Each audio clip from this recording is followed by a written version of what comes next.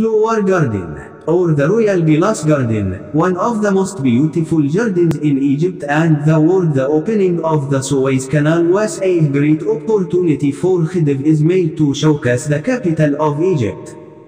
Cairo, in front of his lists of emperors, kings and princes, so he assigned the task of developing and landscaping the gardens surrounding his favorite residence, the Gezira Palace, which is the palace of the Marriott Hotel currently located on the island of Zamalek, to the Belgian architect and garden coordinator Gustave de Chevalerie. Gustave de Chevalerie oversaw the establishment of the Zahri Garden as well as his work as an inspector of the Khedivial farms, according to the documents of the Ministry of Agriculture.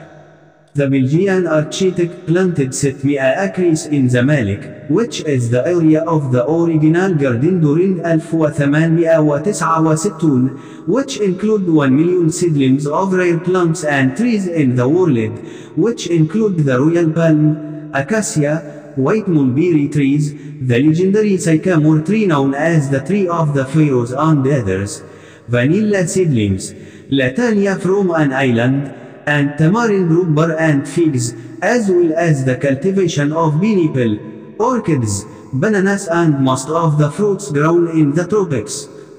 Al Zahriya Garden is characterized by the beautiful royal agricultural greenhouse with its famous glass panels, which were formerly part of the botanical gardens attached to the Khedive Ismail Palace, known as the Gezira Palace, whose construction was completed in 1869.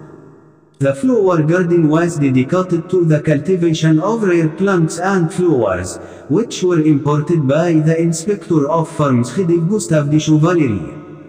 The Belgian architect planted a number of rare flowers in the historical garden, such as orange geraniums, white aloes, violets, and many other types of flowers, cacti, yucca, and distinguished succulent trees. At the beginning of its establishment, it included artificial lakes, including small lakes, for breeding rare black Iraqi bees, African swans, wild bees, and ducks.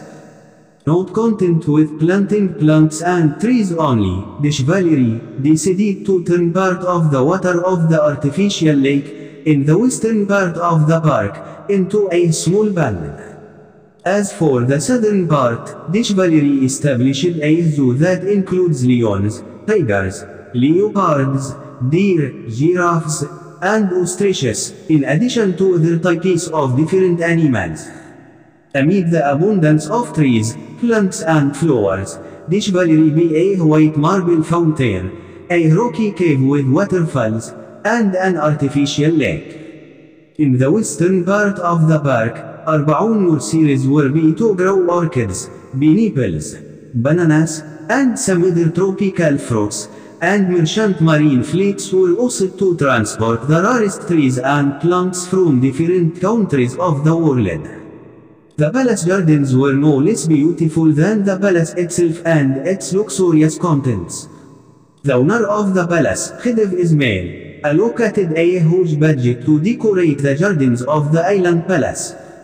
Years after the Khedive was isolated and exiled to Constantinople, Al Gezira Palace was divided into several sections, and the Al Zahra Garden became a nursery for plants.